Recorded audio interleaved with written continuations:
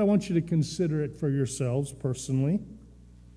The question is this What, beyond the basic necessities of life, physical necessities, is the most important thing to a human being?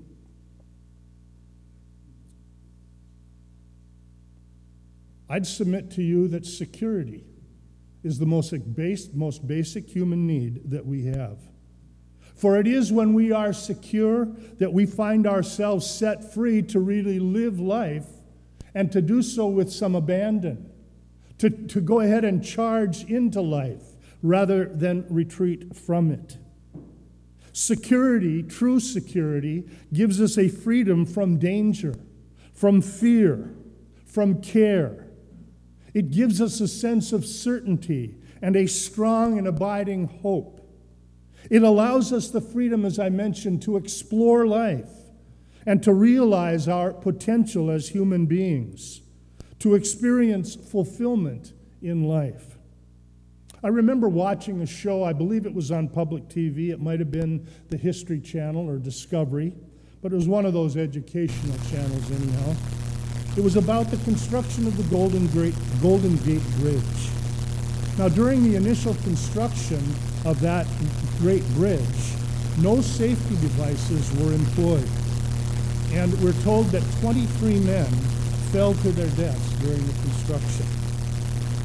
For the final part of the project, however, a large net was hung beneath the work area as a safety precaution. Now, at least 10 additional men fell in or fell from the bridge, but they fell into that net and were saved from certain death. Now, that's interesting, isn't it? Here's what I really found interesting that during that latter portion of the work, the, the, the output of work increased by over 25% once the net was installed. Why is that? Because the men had security and they had a freedom to go about the work without having to be preoccupied with their own safety. They were secure, thus freed to wholeheartedly serve the project. Security is our most basic need. Not love, not human love at least, for anything other than God's love will give a false sense of security. It's one of the reasons why there's so little security for so many people because they're looking to human relationships in order to find security. The promise of a loved one, the relationship of a good friend. They try to find their security in that rather than in the Lord. But anything other than God's love will give only a false sense of security, and it can be shaken. That security can be lost. It's, it's always in jeopardy unless that love is God's love. Acceptance may be important for some. That longing for security, though, is what prompts our desire for acceptance. Some would say, well, peace is a basic thing that we need, but peace really is an evidence that some amount of security already exists.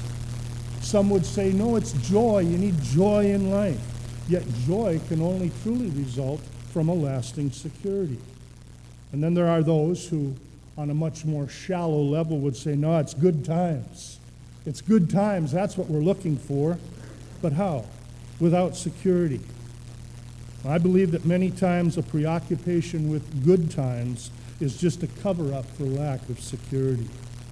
Security is what we need. And the good news today is that security True, genuine, and lasting security is exactly what the Christian gospel offers. The heart of the gospel message is that of the love of God lavished on us upon or upon us through Jesus his son. Paul in Ephesians speaks of this love being lavished upon us. And that word lavished speaks of, of, of just profuse giving, almost to the point of wastefulness the prodigal son, when he squandered his living after he left home, it's the same base word that he squandered, and where it says in Ephesians 2 that God lavished his love upon us. It's an interesting thing to think about, isn't it? That's how extravagant God's love is for us. And the result of the gospel applied is security, true and lasting security for any individual who embraces it. The gospel, then, I would tell you this morning, meets our most basic need. Faith in Christ brings this to pass in an individual's life. Faith enables us to believe the message of God's love and grace.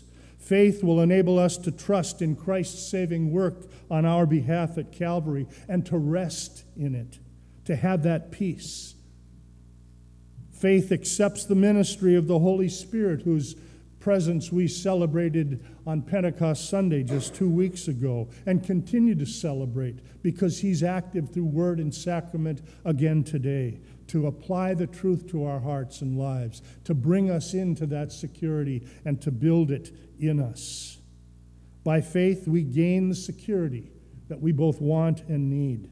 That's why Paul can say, as he does in Romans 5, beginning at verse 1 Therefore, having been justified by faith, we have peace, excuse me, peace with God through our Lord Jesus Christ through whom also we have obtained our introduction by faith into this grace in which we stand, and we exult in the hope of the glory of God. Now, that being said, accepting the gospel for oneself does not mean that life will become a carefree gala experience. We still experience trials, tribulations, some of them serious. There are those who would oppose us spiritually and who would seek to undermine our faith and thereby destroy the sense of security that God so graciously and lovingly offers us. Martin Luther saw three great enemies of the soul, three forces, if you will, bent on destroying our faith and stealing our security. The first is the devil, secondly, the world, and finally, our own nature, fallen nature, our own flesh. Each of these is bent on destroying any real security that God gives us. Satan wants to confuse us. Satan wants to undermine our assurance in the finished work of Jesus. Satan wants to get our focus off of the gospel and onto ourselves. The, the, the world wants to entice us with those things that are basically just glitter and not substance. And yet, to it, it, it's like a lure to a fish. we, we, we're tempted to take the bait and to settle for so much less than what God has for us. And in that process, losing again, forfeiting, giving up the security that God gives us. Even our own flesh, our own fallen nature is confused in this and easily deceived. And so we need to stand guard against these great enemies of our soul. Paul, in the text before us this morning, is intent on strengthening our faith and in reassuring us about the security that is ours in Christ so that we can successfully stand against these three great enemies of our souls.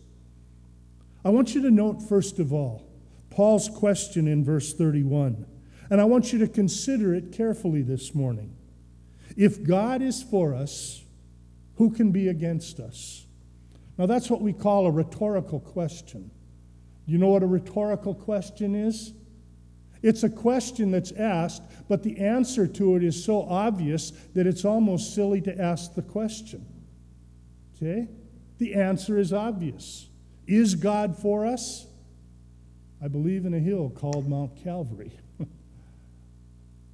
God demonstrates his love for us in this that while we were yet sinners, totally unlovable, he loved us enough to send his son to die in our place. If God is for us, who can be against us? Well, the world, the flesh, our own fallen nature will oppose us. But what are they compared to God?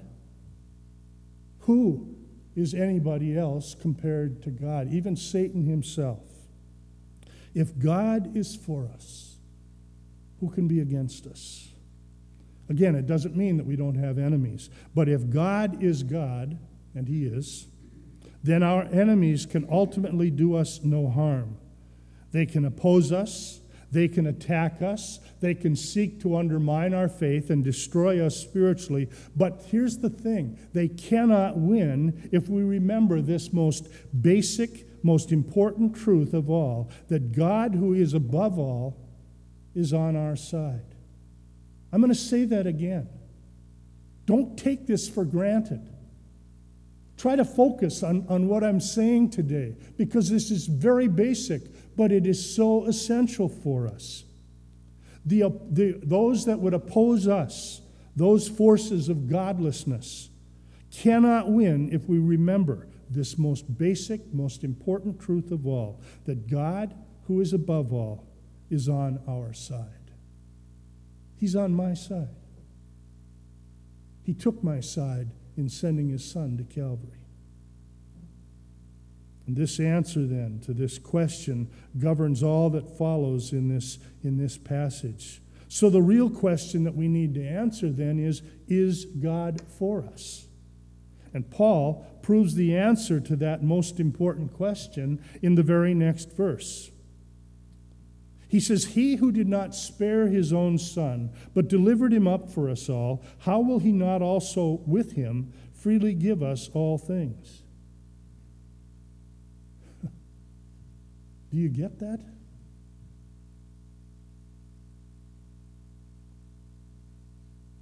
Does it amaze you? He who did not spare his own son, but delivered him up for us all, how will he not also with him freely give us all things? And all things relates here to those spiritual and emotional needs that we have as human beings. If he gave his son for us,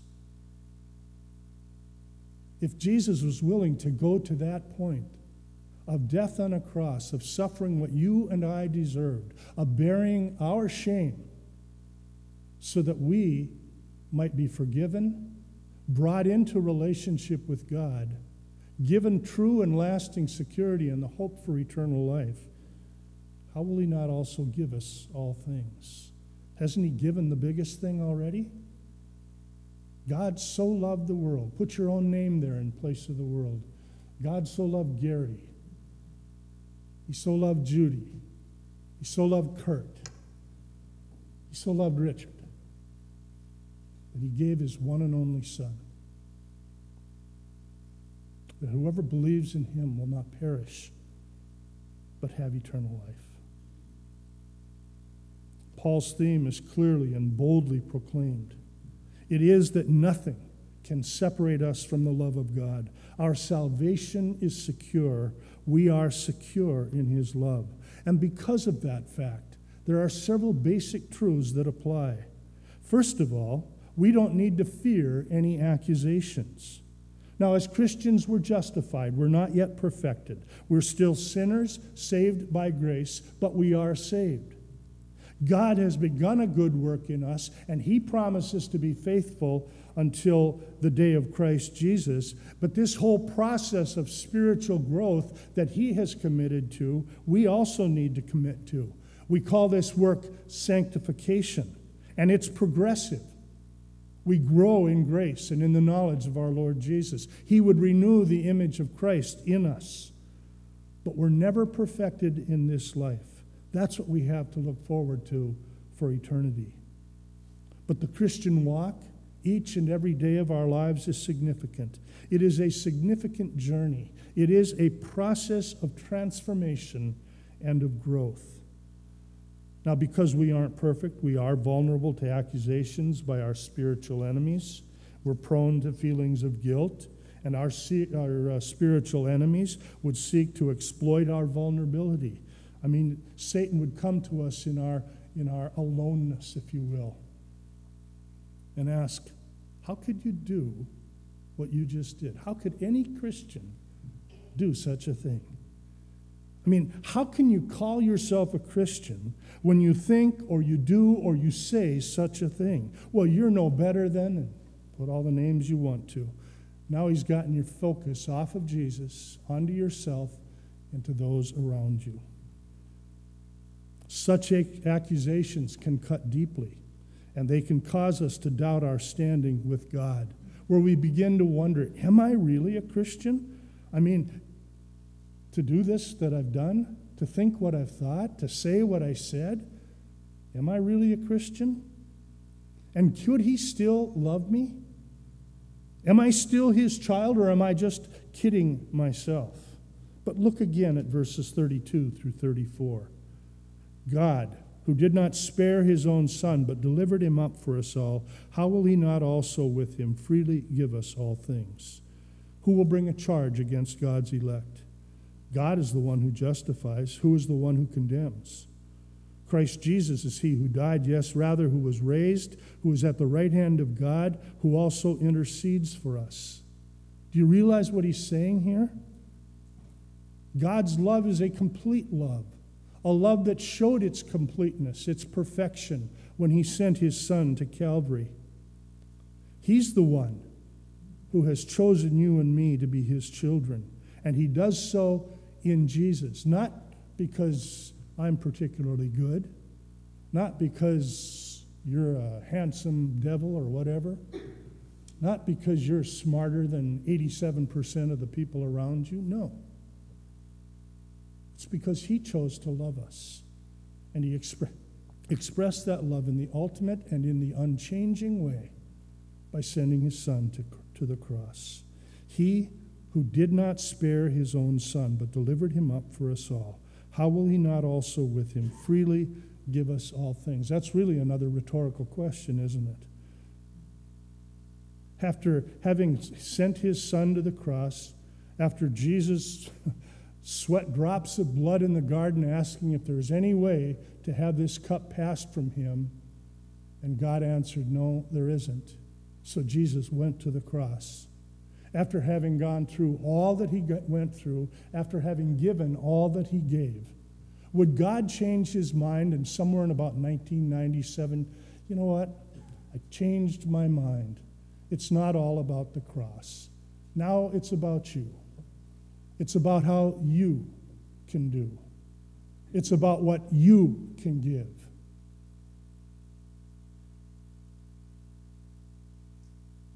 If I gave my son for you,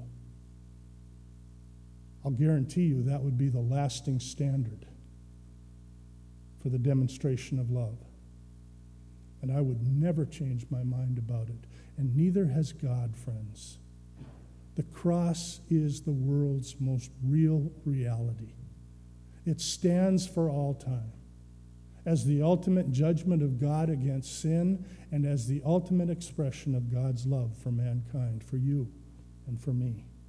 And if he didn't spare his son but gave him up for us, would he ever change his mind? Change the standard? No. He will also continue to freely or graciously give us all things. And he has. He's, he's given us his word. He's given us His Holy Spirit to live within us. He's given us the sacraments. He's given us prayer. He's given us the privilege of worshiping Him. He's given us the opportunity for fellowship. He's given us the opportunity to serve Him. All of these things He continues to freely give us through Christ. Secondly, he asks, Who is the one who condemns? Well, Satan can accuse, and he will attempt to deceive us. But here's the thing He cannot condemn us because He isn't our judge, only God is. Oh, we could believe the lie, but He is not the one who condemns. He is not the judge. Only God is the judge. And He would judge us through the finished work of Jesus. Jesus Christ. It's He who died, yes, rather, who was raised, who's at the right hand of God, and who also intercedes for us. Wasn't it enough that he went to the cross in your place and mine? Well, in a sense, yes, but in another very real sense, no. Look what God or Paul adds here as the Spirit of God uh, inspires him to write. Jesus not only gave his life for us, But now that he's ascended to heaven, he's, he's there at the right hand of God advocating for us. He is the one interceding for us. I think of what John writes in John 1 John 2 verse 1. He says, "My little children, I'm writing these things to you that you may not sin. But if anyone sins, we have an advocate with the Father, Jesus Christ the righteous." Have any of you ever read any works by a man named Watchman Nee? He's probably not very popular anymore. When I was a younger Christian, his writings were kind of in vogue, I suppose. I remember in one of his books, Watchman Nee told about a new convert who came into deep distress, or came in deep distress to see him. He exclaimed to Nee, No matter how much I pray, no matter how hard I try, I simply cannot seem to be faithful to my Lord.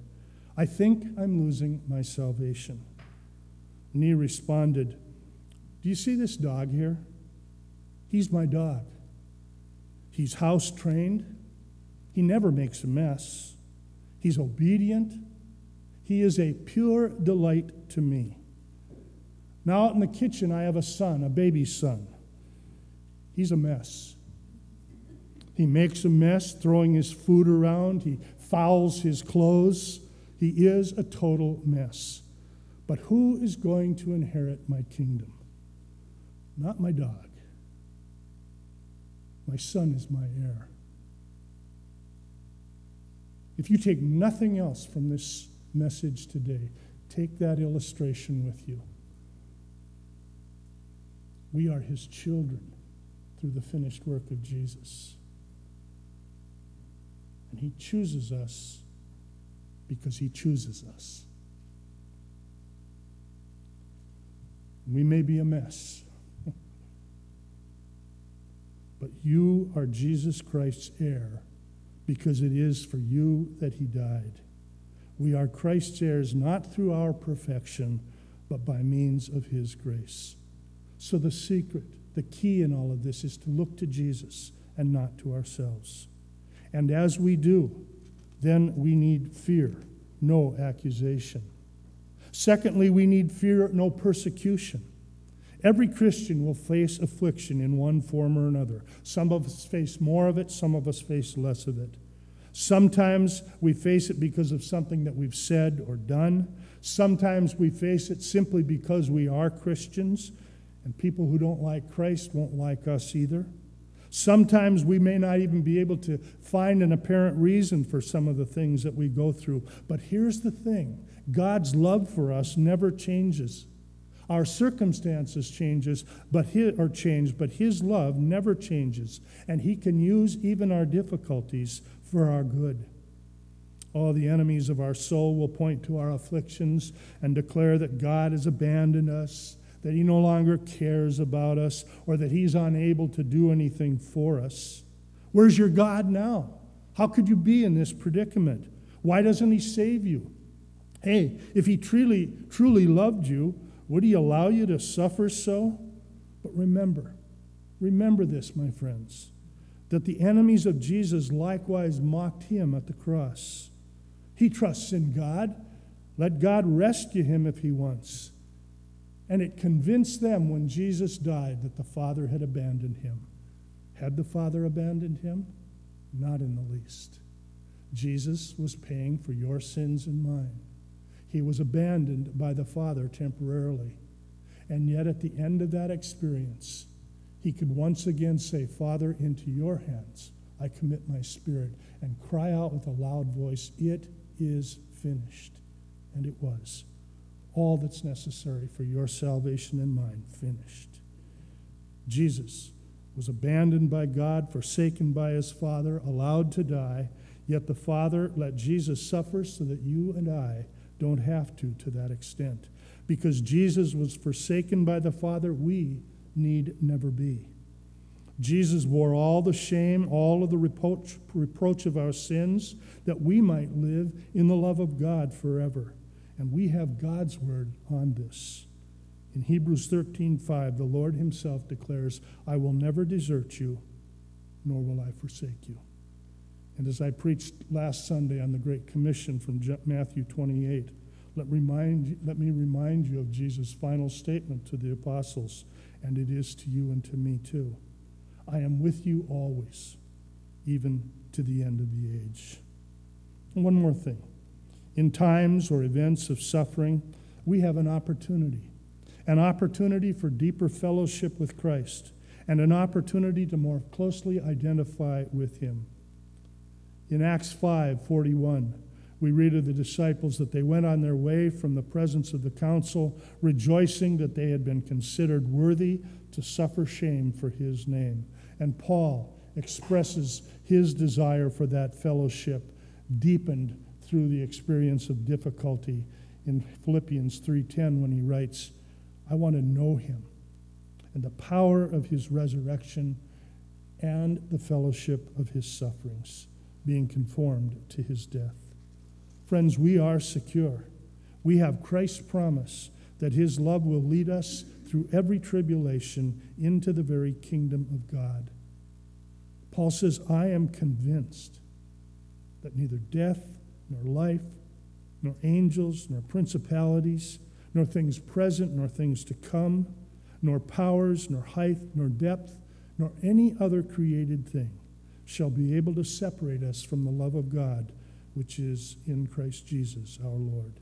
And in all these things, then, we are more than conquerors through him who loves us. Our salvation is certain. So we need fear no foe. I am convinced that none of these things, nothing in all of creation, can separate me, can separate you from the love of God in Christ Jesus. Not even death itself can separate us from the love of God. Christ arose. He was delivered for our sins and raised to life for our justification. Romans 4:25. He gave a foretaste of his power when he spoke to Mary and Martha and declared, I am the resurrection of the life. He who believes in me will live even if he dies, and everyone who lives and believes in me shall never die. Do you believe this? And then he went to the tomb of Lazarus, who'd been dead for four days, and brought him to life. Brought him to life with a word. We need fear nothing in this life. The old Concordia hymnal had a version or translation of a mighty fortress that is my favorite. I, in fact, I, will have to say that I was disappointed to find a different translation in the new uh, ambassador hymnal. At one point in that translation, we read, And should they in the strife take kindred, goods, and life, we freely let them go they profit not the foe. With us remains the kingdom. Isn't that powerful? We freely let them go. They profit not the foe. With us remains the kingdom. And then the fourth verse from that great hymn. That word, above all earthly powers, no thanks to them, abideth. The Spirit and the gifts are ours through him who with us sideth. Let goods and kindred grow. This mortal life also. The body they may kill. God's truth abideth still. His kingdom is forever. For whatever is born of God overcomes the world, and this is the victory that has overcome the world, our faith. 1 John 5 4. Life is so commonly viewed as the highest prize. But Christ has given new, higher life to each believer. Having once tasted of the joy of the Lord, of his love and of his forgiveness, of his indwelling presence every day, nothing else can truly satisfy. If you have tasted, then you know what I mean. And if you haven't, taste and see that the Lord is good. Our past is dealt with, and nothing in either the present nor the future can separate us from the love of God because Jesus Christ is the same yesterday, today, and forever. Only faithlessness can separate us from God's love. Don't let that happen. Trust in Christ, trust in the gospel, not in yourself, and you'll know the truth of our text that we are indeed secure in His love. Amen. Father, thank you that it is true, that in the finished work of Jesus we are secure, for that was the ultimate demonstration, the ultimate expression of your love, and it was an unchangeable, unchangeable declaration. You loved us at the cross, and you continue to love us because of the cross.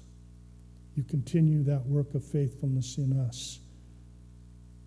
We thank you for that. Help us, Lord, to be able to clearly understand and really, truly appreciate where our real security is. It's not in the love of a husband or a wife. It's not in children. It's not in friends. It's in you, Lord Jesus. And you make all the difference. In you, in your love, we are secure. Amen.